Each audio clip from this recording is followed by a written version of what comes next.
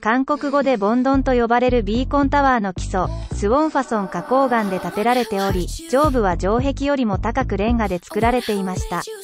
そして花城城壁の一部を外側に突出させました。内側は湾曲して3層になっています。そして5つのトピックが曲線上に積み重ねられました。砲撃号と銃眼が装備されていた敵の攻撃に備えて、そしてビーコンを使用するための部屋と倉庫が建てられました。一般に煙や火は穴を通して使用されました。四陰宿城山と甲春大フェンハナ方面へ合図するため、ボンス軍は花城カリミアとその周辺を偵察していた。日中は煙がたかれ、夜は危険を知らせるために火がたかれました。煙や火は市内4のサックソン山山行く本に届けられた。フェンタン村郡達山で天峰を受け取った後ファソン市長安面甲春大解放出身だった。信号システムは南の最初のトピックから始まります。平常時は昼夜を問わず一つののろしが挙げられていました。敵が国境近くに現れた時、ビーコンが2つあり、敵が国境に到達すると、ビーコンが3つありました。敵が国境に侵入した時、ビーコンは4つありました。戦闘が始まると、5つのビーコンが全て上がりました。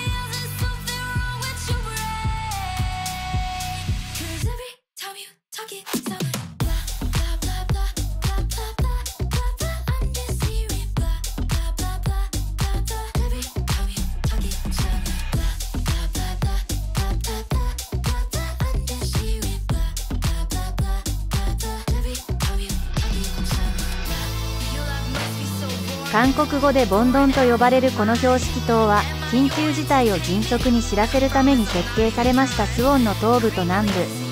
タワーからの発煙音がすぐに見えました花城城のカリミアにて、地元の判事が住んでいた場所。花城城内にあるビーコンタワー1796年6月17日に城に合わせてレンガで建てられました。ビーコン消防署とは異なります山の頂上にあります。韓国のタイプの城ではほとんど起こりません。水元花城の代表的な施設の一つでありまるで芸術品のような緻密なデザインが特徴。塔はレンガでできた5本の煙突で構成されています。通常夕方には南端の煙突に火が灯っていました。全てが順調であることを知らせるために。緊急事態の場合には5本の煙突全てに点火する必要がありました。幸いなことに5本の煙突すべてに点火しなければならないケースはありませんでした。これまでのコミュニケーション手段の中には、最も早く、最も正確な手段としてボンドンとは、韓国語でボンファ台の形をして建てられたもので、水元花城城に設置されました。たとえ中曽が町村朝の首都ハンヤンから遠く離れていたとしても、彼は国を運営するためにあらゆる努力を準備し、何の問題も残さなかった。清楚の周到な準備がわかります水源花上場を完璧に建設していただきました。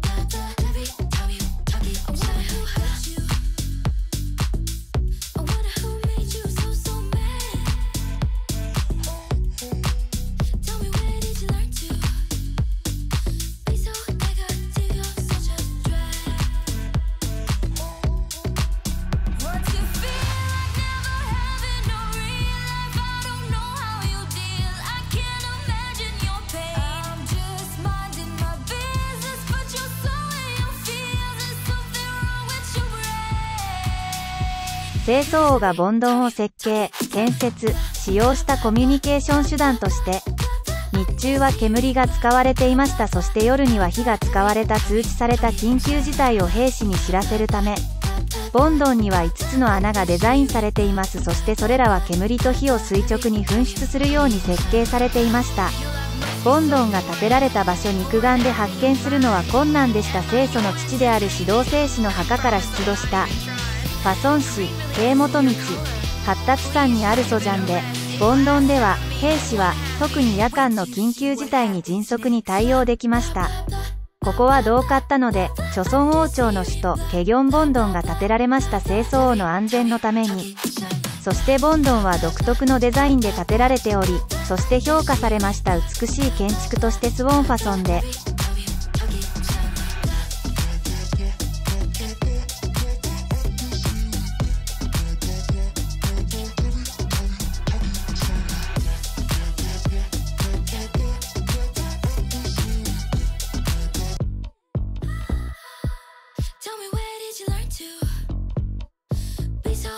水原火星のすべての防御及び攻撃施設上手に隠れてた城の外からは見えないように、彼はたくさんの努力をしたに違いないスウォンファソンの安心と安全のために、丸、水原ファソンのボンドンとても重要でした。その時のコミュニケーション手段として、近くで火災が起きないようにするために彼は広いスペースを確保しようとしたそして火災の危険性を軽減します。スウォンファソンのボンドン煙突を5本使っていました兵士たちが信号を送ることができるように、他のビーコンとは異なりますボンドンはそれを効果的に使用するために設計されました。そしてそれは美しくデザインされました外観は。ボンドンにはユニークな特徴がたくさんあるので多くの観光客が訪れています。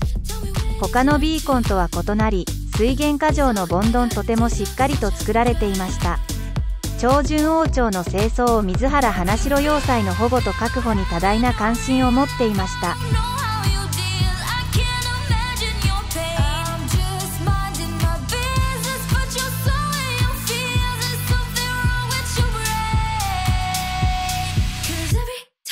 Talk it, talk.